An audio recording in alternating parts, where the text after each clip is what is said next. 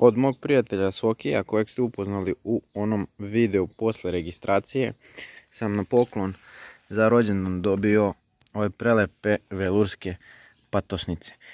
Umeđu vremenu sam išao da opet lešinarim jednu donorsku santiju iz koje sam zbog ovih patosnica koje su malo tamnije od tepiha koji je siv patosnice su malo tamnije, znači više vuku na crno, ne znam koliko ćete vi to uspjeti da vidite na snimku.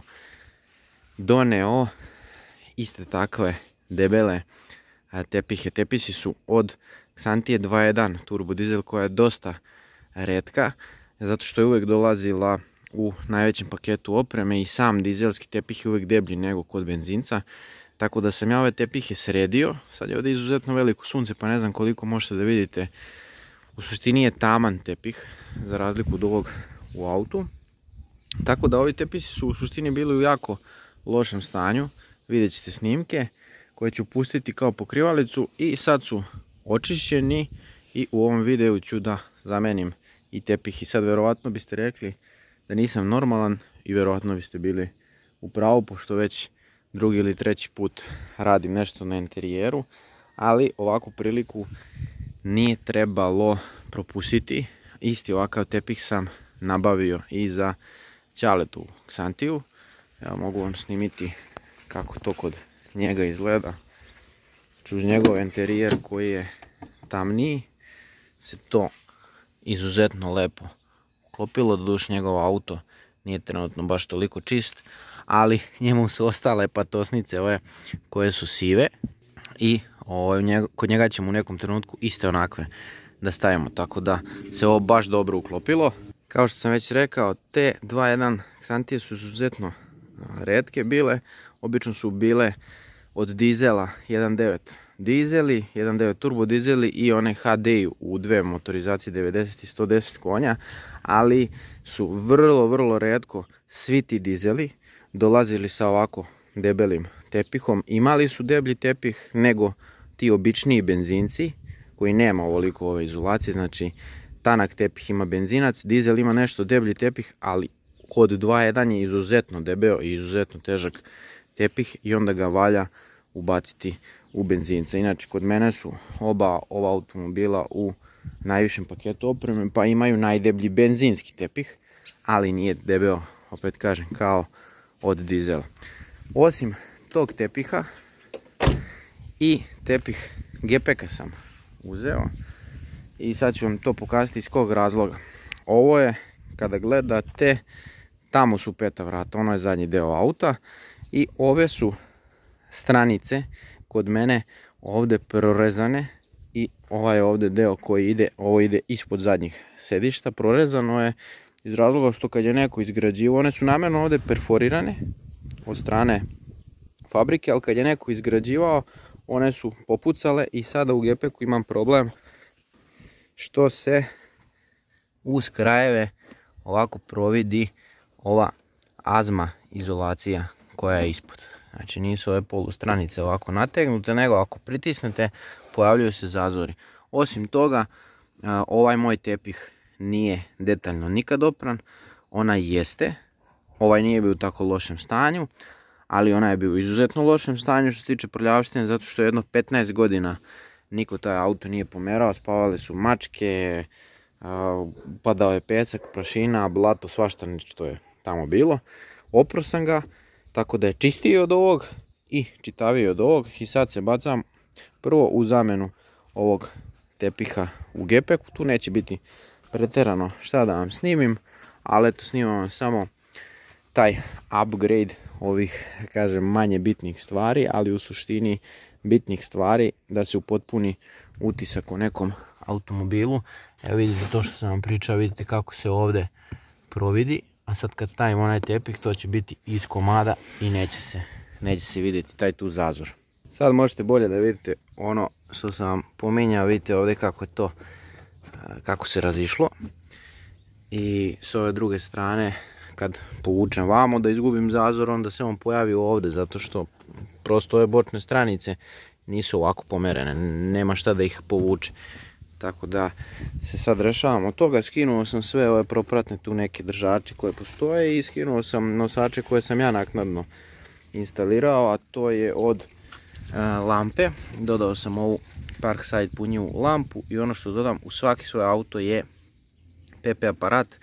E, jednostavno to savjetujem svakom ko ima auto da treba da, da kupi, nebitno je li imate plin ili nemate, zato što mislim da plinaši to moraju po zakonu da imaju.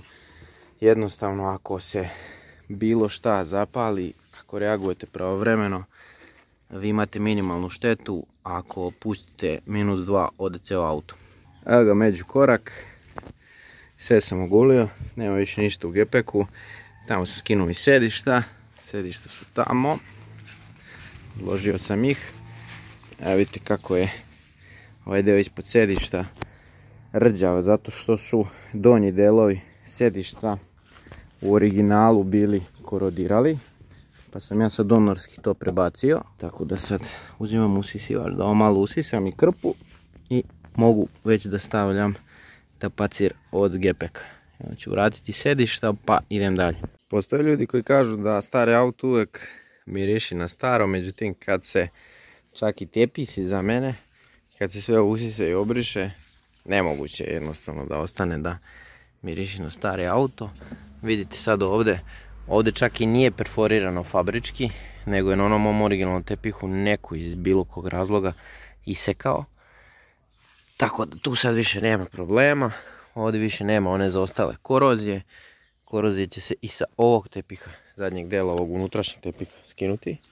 Kad zamenim tepih, ovdje sam sve vratio, ove nosače, ove nosače i to je sad dobilo pravu formu. Sad polako vraćam sve ove zezancije i sedišta. Da bi se skinuli tepisi, prvo mora da se skine prednje vozačevo i suvozačevo sedište, pa tek onda zadnja i onda ide zadnji deo tepiha, pa onda posebno prednja dva, morat će se skine i ili bar da se podigne ovaj ovdje deo na sredini. Nema tepiha zadnjeg, kao što možete da vidite patosi su perfektni, nigde nikakva korozija nije prisutna. A ovdje možete da vidite samo što kamera to ne prenosi u najboljem redu. Sad ću da vidim da li mogu nešto da dobijem. Da vam pokažem kako u stvari izgleda njena originalna boja. Teško je to, teško je to sad dočarati. Vama je crvenije, ide više na karmin. Ovdje je sačuvana originalna njena metalik boja perfektne, ne može da se vidi na snimku.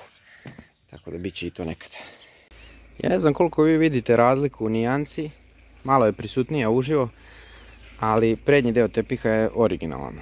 To je taj sivi tepih. Zadnji je taj tamniji, da kažem teget ili crni, samo ga još nisam iščetkao pa je tako malo sivkast, malo je crnkast, ali postoji blaga razlika, taman tolika da ovaj prednji deo tepiha deluje kao da je starija verzija ovog zadnjeg tepiha.